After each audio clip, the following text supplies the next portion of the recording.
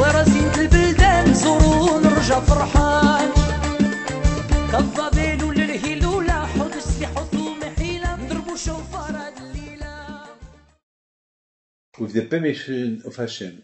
This week is Tu B'Av. What it is Tu B'Av? What it is to, to B'Av? So there is a lot of reason why we do Tu B'Av five days after Tisha B'Av. But you have to know that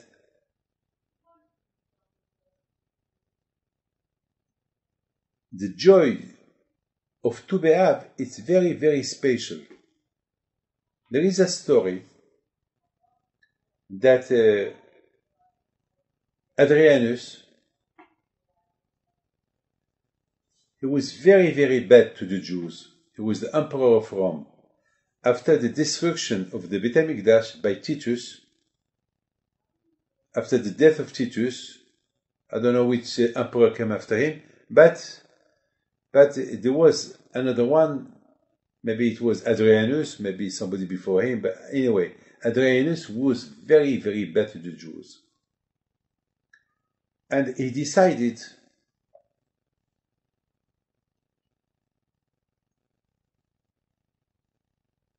to do a war against Betar. Betar was a city not far from Jerusalem that there were there about a million of Jews. That was about after the destruction of the Beit HaMikdash.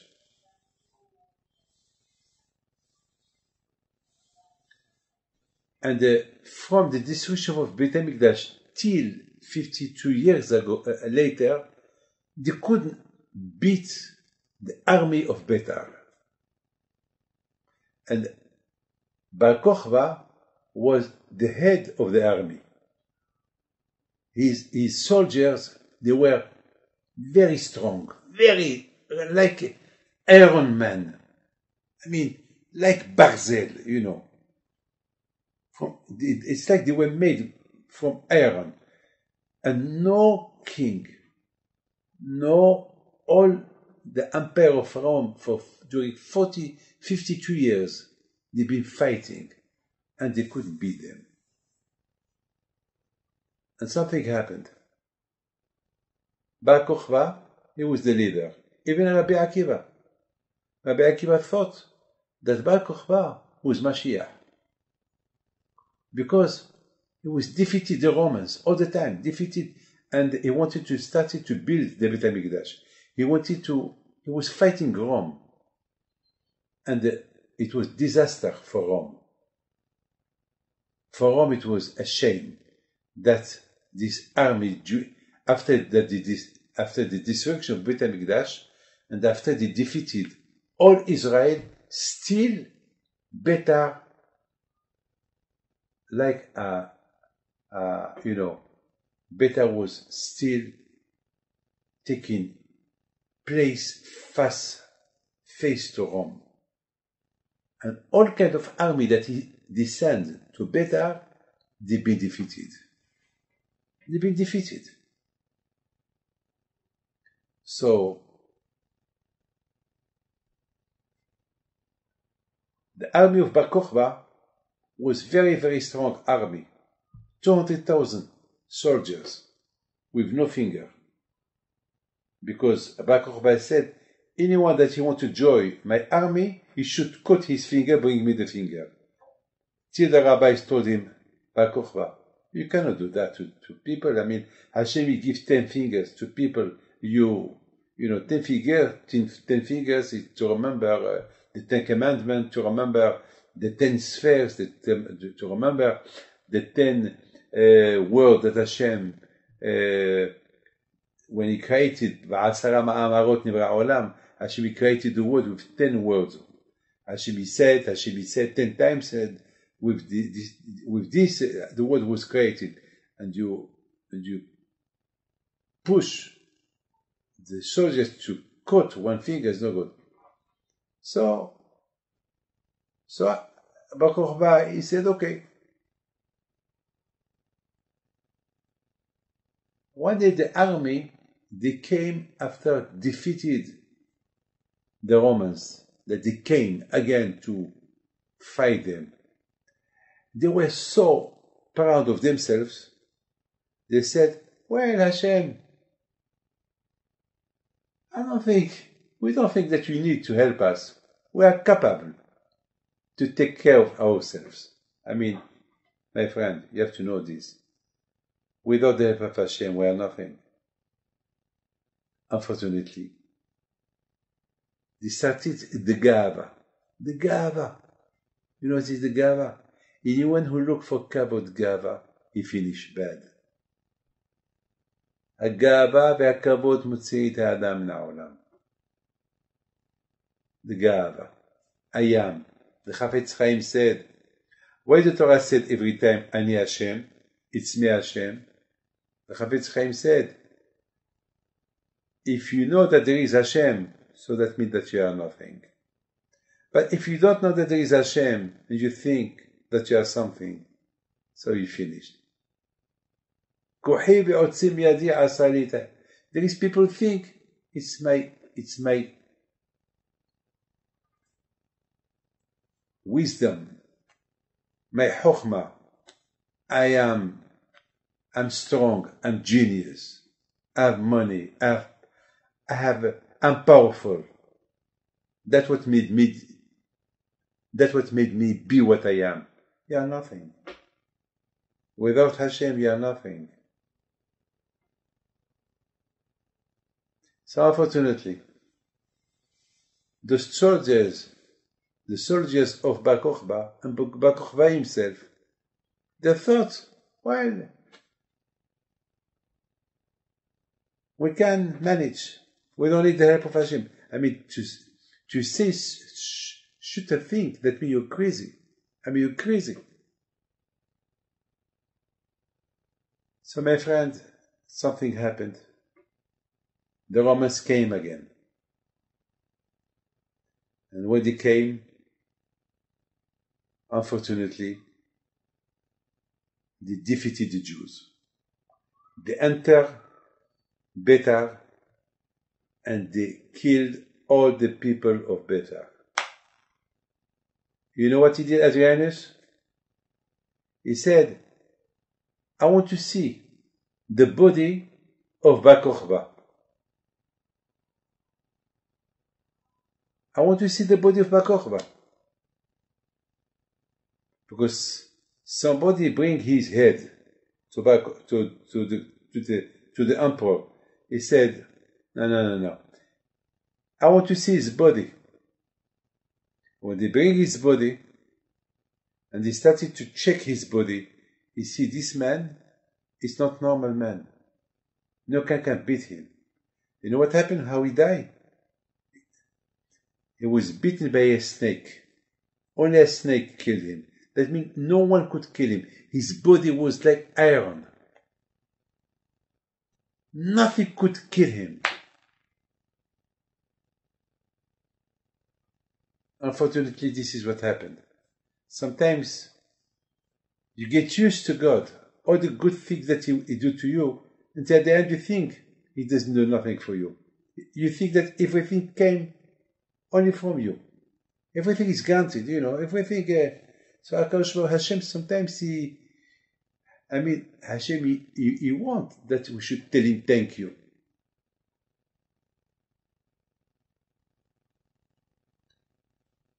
Adrianus, he decided that not to bury all the people, thousands, hundreds of thousands of people. There were blood everywhere. And Adrianus decided, those people, I don't want them. We've been fighting them for 52 years. Rome been fighting them for 52 years. We couldn't beat them. Now, we, I want their body to be in the ground that the, all the, the animals will come to eat it, to eat them. I don't, don't, don't bury them. For seven years, they've been lying down in Betar, lying on the floor. But a miracle happened. The bodies of, of hundreds of thousands of people, the, the, body remained intact, fresh, no smell, don't, they didn't get rotten, nothing. Until seven years after, that after the death of Adrianus, there was another king who allowed the Jewish people to bury them. And the day that they buried them, it was Tu B'Av. Tu B'Av. So that was a happy, a joy, the Jewish people, that at least the Jewish people from Betar, that they could come now to their place to be buried. But my question to you, my friend, why Hashem, he did that the body, they, they, they, they, they remained intact. I mean, what it is the message? You understand? This is the question. What it is the message? Why, I mean, why, why, why, why, why this body? If Hashem loved them, if Hashem liked those people, so why they got, they got killed? I mean, they've been punished because they said to Hashem, "We don't need you," so it they deserve to be punished. But why Hashem? He did that. Their body remained intact. Why? You know what happened? You know, all the eagles used to come to fly them. You know, the eagles, they, they like to eat fresh meat. And they, you have thousands, hundreds of thousands of bodies. No one, no eagles, they, don't, they didn't come. I mean, they fly over them. They didn't even smell, because they smell blood. There is animals. I mean, there is hot weather. And, you know, in Israel, and the summer is very hot. Very hot. Seven years. Why this miracle? Why? If they are tzaddikim, so why Hashem punish them? If they are not tzaddikim, why their body did, did not go to rotten? Why? So what happened at the end? They did Tu B'Av, a big simcha. My friend, I have to tell you this. Hashem, we want to teach you. You know, after the destruction of Beit HaMikdash, the Jewish people were very down, now level. Especially after Betar was defeated. They had a hope with Bar that with Bar he was Mashiach. And they, they have a hope that he's going to build the Beit HaMikdash. He was the, from the descendant of David HaMelech. Even Rabbi Akiva, he respected him. The Gemara said that Rabbi Akiva, he, he was with him all the time. But after, when he saw what, when he heard what they, what they said, what the, the army were talking, he left them. I mean, I mean, you must, you, you, the Jewish people, they were in very low level. Now, after th- that, Bar Kokhba was defeated, and the Jewish people there, all the city were killed. All the, no one escaped from Betar. The Jewish people were completely down. When they heard the miracle, that their body was not rotten, that means that Hashem is still taking care of them. It's not only take if he take care of the dead people not to get rotten. Of course, he he will take care of the of people that they are living, so that it gives them hope. You Let's give him hope. And besides, don't forget, there was a big tzaddik, Rabbi El-Azar Amudai, who was praying for them. Unfor- Unfortunately, Bar Kokhba killed him. Why him? He thought that uh, he, he- wanted to, to be a traitor. Because they talk Lashon about him. That it's like he was preparing to, to tell the Romans how to enter Betar. Silly things. And Rabbi Azar Mudai was praying for Betar all the time. Since he was killed, was no protection. But even that he was killed by Bar Kokhba, all the tefillah that he made for Betar, it helps for after. If he didn't help to live, so they, they, it helped the body not to get rotten. But my friend, it's just Hashem want to show you that there is Hashem. If he can take care of the death, dead body, he can take care of the remain people, the Jewish people that remain in the world that will protect them. And besides this, my friend, Hashem always give a reward for somebody who respects him. The Jewish army at the time, they, they, they sacrificed themselves to defeat the army of Rome for all what they did to the Jewish people. And that give to the to the whole to the whole world, it give that everybody was thinking that Hashem he protect the Jews. So because of that Kiddush Hashem, the whole world was talking, wow, Hashem, he didn't protect them because they were bad people for uh, that way he destroyed the Beit HaMikdash. But look what they are doing. They are defeating Rome. So everybody was happy. Everybody was happy to hear that an army of Betar, they resist Rome 52 years. So that give Kiddush Hashem. For that Kiddush Hashem, HaKadosh Baruch Hu paid them. That their body will not be rotten. And from here we understand that HaKadosh Baruch Hu, there is something that I want to tell you. One day, I was reading uh, Amar of the Rashab from Lubavitch, Alav Shalom, the Admor, Lubavitch, the Rashab, he said this. He said, what, whatever you see existing, it exists only because Hashem, you want that thing to exist. If uh, you are alive, because Hashem wants you to be alive, all, all the time that you are alive, that means Hashem reminds you alive. The moment that Hashem, He don't want you to be alive, so He takes your soul, that's it. That's it. So, fish. All the time that the fish, it's, uh, it's of rotten, you can eat it. So that means Hashem is inside to protect the fish not to get rotten. But at the time that Hashem Hashem is not, He does protect that, that food, so that food become bad, so throw it away. Understand? So what this is something that we should know. My friend, exactly this is the answer for those bodies. Hashem, you want to show everybody. Usually, a person that die, that's it. He got rotten. But I want to prove you the contrary. You have here hundreds of thousands of people that have been killed, and there are one on the other one. There are thousands of, uh, you know, a mountain of bodies. No one got rotten. They remained intact during seven years. Seven years. They remained intact. Because Hashem, He wants them to be, Hashem wants to show the whole world. After the destruction of Beit HaMikdash, don't think that I let you down.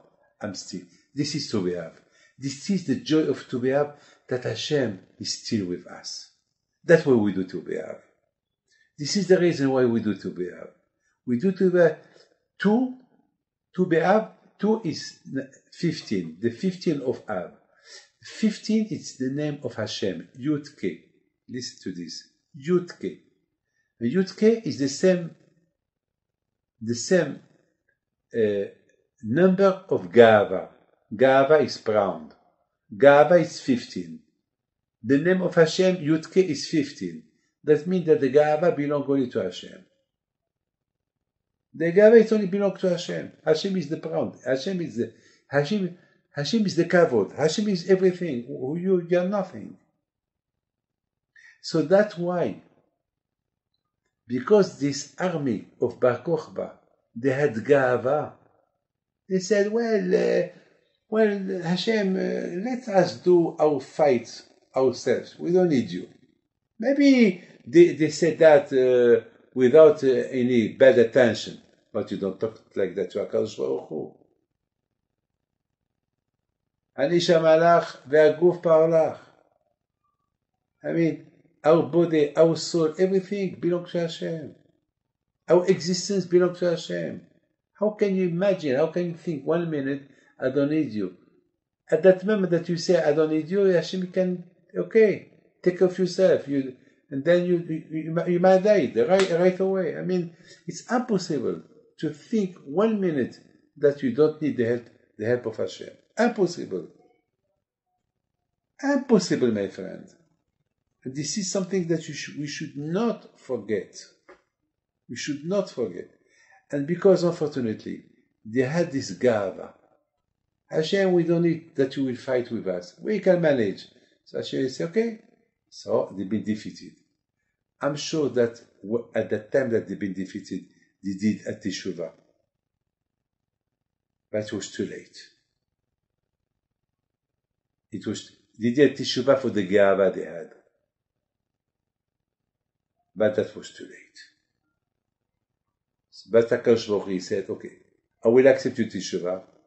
Your body will not be rotten. And uh, seven, after seven years, seven is uh, the symbol, very symbolic, number seven. The number seven, it's Shabbat. It's uh, it's menucha. It's uh, you know rest. So Hashem said, now you can rest in peace. Now your body will be buried. But the miracle was there. The miracle was there. Big miracle. What miracle? That the body was didn't because they did Kiddush Hashem. Because they, they provoke a big Kiddush Hashem that people were talking about them. Look what a miracle, what look what a miracle. They are defeated, they're defeated. And beside this, people were talking that the bodies they, they've been not rotten. I mean, that was a big Kiddush Hashem too. Hashem he defeated the Roms. Hey, Rom, you think I don't take care of my people? Look, I take care of their body. Their body, they're not rotten, still intact. Seven years.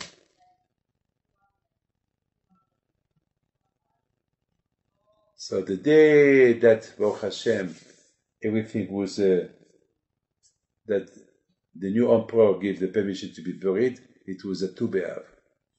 So Tu B'Av become a very special day.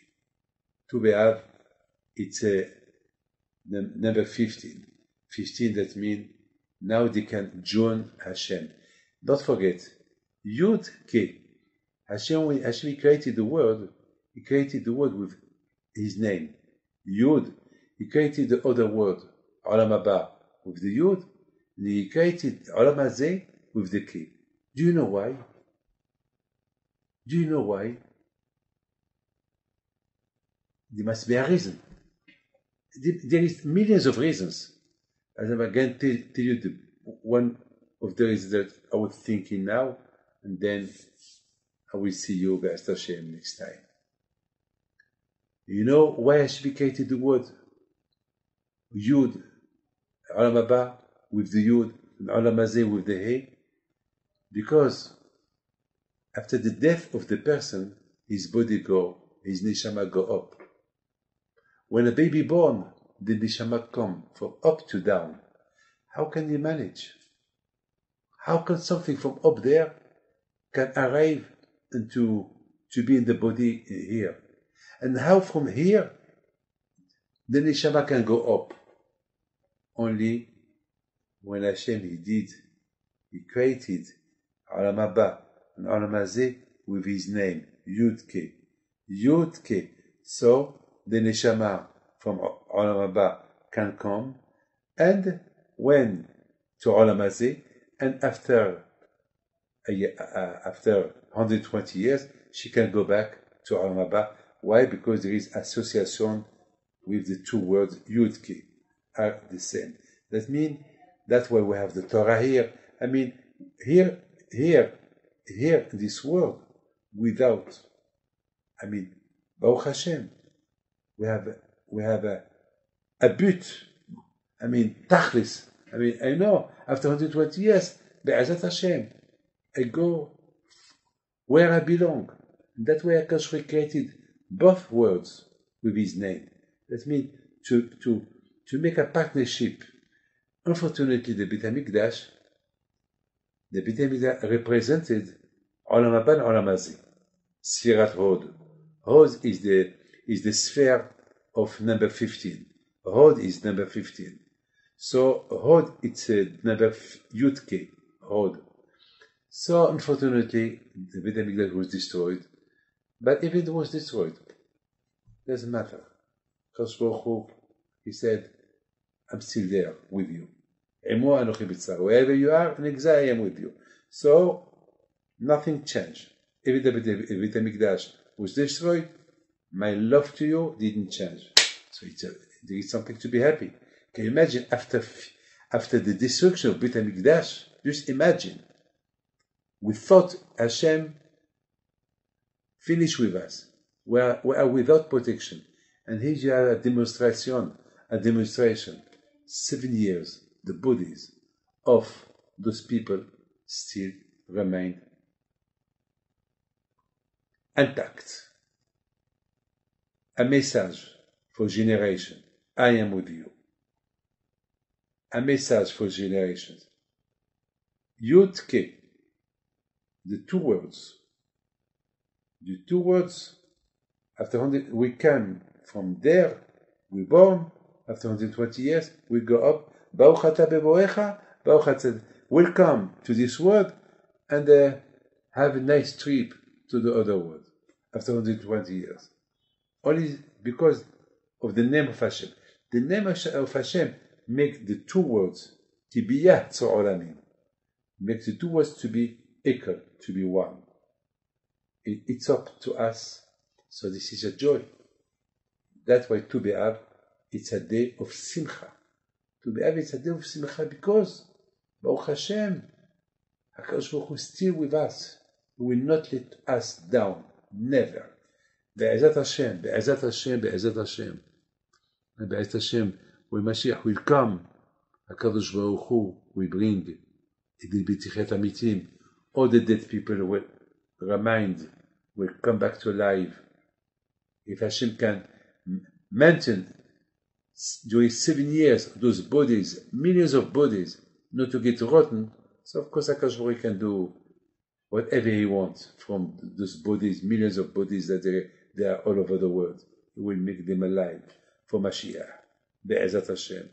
And one thing you have to know that Hashem, He is the Balabais of the body. He's the Balabait. I mean, there is no, the, the, the, I mean, the teba, the nature, a dead body, you put it one month in the street, I mean, after one month, no one can walk next to him. I remember during uh, we, I remember the, a man uh, that passed away. I remember, and uh, well, uh, we went to the to the to the you know for the levaya. He was smelling so bad because they they found him only one week after. You, you know, you could smell it. It was up. I mean, even the even the the Chevra Kadisha, you couldn't wash him. It was terrible, terrible. I mean, terrible. And here you have seven years. That means that Hashem, He can maintain the body if you want. This is Tu B'Av. Tu B'Av is a simcha that the Jewish people now they have hope. Ah, Baruch Hashem, because who will not let us down. Baruch Hashem, it was a simcha Tu B'Av. I wish you well. Be'ezat Hashem, don't forget, there is a shiur on Wednesday night. No, on Tuesday. And uh, my time, Israeli time, it will be 6 o'clock. Be'ezat Hashem, we'll be going to Arizal HaKadosh and to Rabbi Pinchas Ben Yair, Be'ezat Hashem, to, to Be'ezat Hashem, to, to because last week was the Hilul of Arizal Kadosh, and this week is very and we will go as as well to uh, Hannah and her seven children. Be'ez Hashem Tzfat. So that will be on Tuesday. Uh, I don't know what uh, Israeli time is six o'clock. Your time I don't know. So I wish you all the best. Hashem bless you. Thank you.